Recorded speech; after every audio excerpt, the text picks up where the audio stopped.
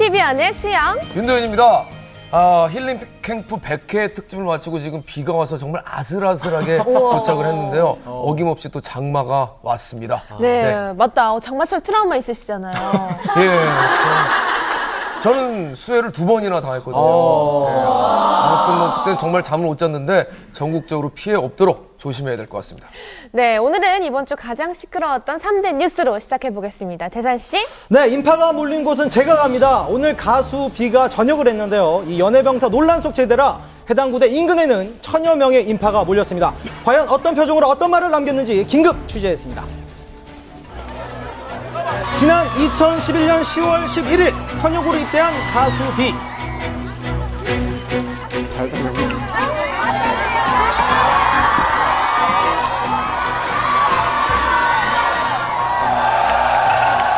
장정대표 정지훈입니다. 난수 7번 입력하겠습니다. 경기도 연천군 오사단 열수의 부대에 배속됐습니다. GOP를 순환 근무하는 최전방 부대입니다. 오사단 신병교육대 조교로 복무했던 비. 그러나 지난해 3월 연애병사로 보직 변경, 홍보지원대원으로 활동하던 중 올 초 김태희 씨와의 열애가 알려져 화제가 됐습니다. 하지만 이 과정에서 군 복무 규정을 위반했음이 드러났는데요. 접촉이 있은 건 사실이고 사적인 접촉은 규정 위반으로 볼 수 있습니다. 결국 7일간의 근신 처분을 받은 비 이후 연애병사로 복귀했습니다. 그러나 지난달 언론을 통해 연애병사 복무 실태 논란이 불거졌는데요.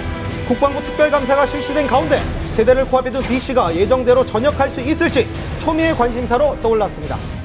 어, 정지훈 병장은 어, 그때 당시에 어, 관련된 병사, 연예병사 관계없이 문제가 없는 것으로 파악이 됐고 예정대로 전역을 할 것입니다. 그리고 B 씨가 제대하는 오늘 새벽 서울 용산의 국방부 앞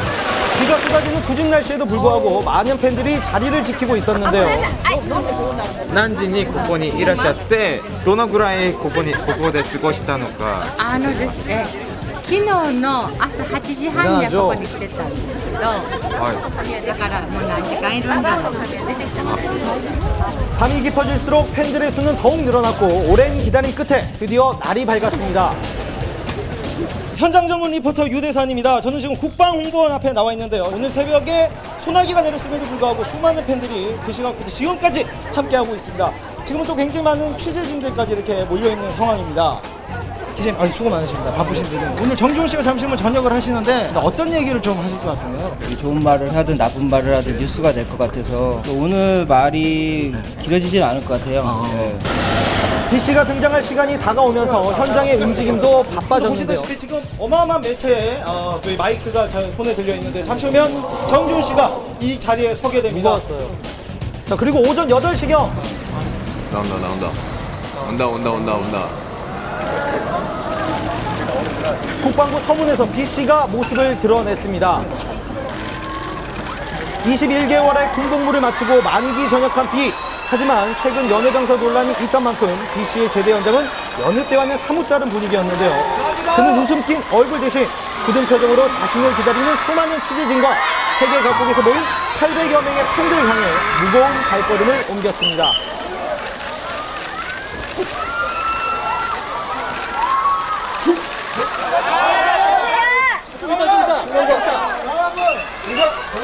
우리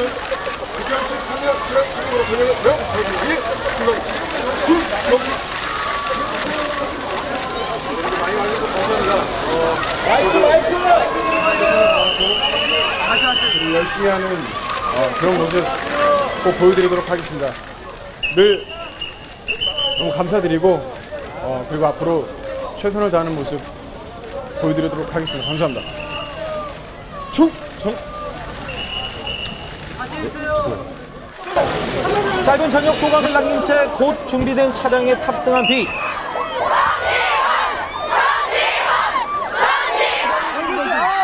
하지만 팬들의 안타까운 외침을 외면하지는 않았습니다.